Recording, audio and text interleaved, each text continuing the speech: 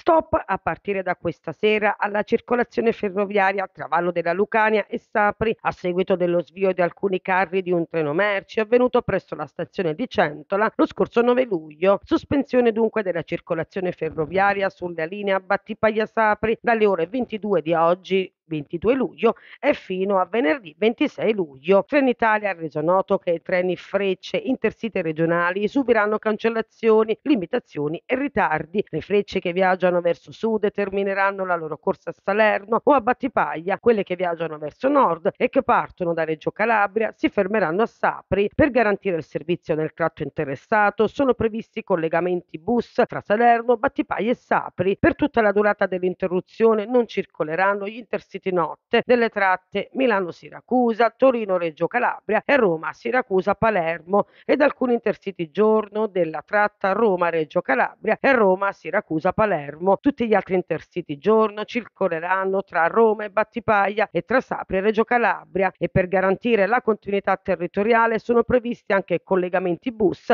tra Battipaglia e Sapri. Tutti i treni dei regionali di Trenitalia saranno cancellati tra Vallo della Lucania e Sapri, prevista una riprogrammazione programmazione del servizio con bus con possibile aumento dei tempi di percorrenza in relazione anche al traffico stradale e minore disponibilità di posti rispetto al normale servizio offerto. Trenitalia, tenuto conto delle importanti ripercussioni sul servizio, invita tutti i viaggiatori a riprogrammare il viaggio e a consultare la pagina Infomobilità su trenitalia.com e sull'app prima di recarsi in stazione. È previsto il rimborso integrale del biglietto in caso di rinuncia di viaggio, fanno sapere da lunedì 26 luglio frecce intercity regionali di Trenitalia riprenderanno a circolare gradualmente sulla linea Battipaglia-Sapri, ma la capacità di offerta tra Campania e Calabria continuerà ad essere ridotta e i treni potranno registrare ritardi e subire limitazioni di percorso o cancellazioni.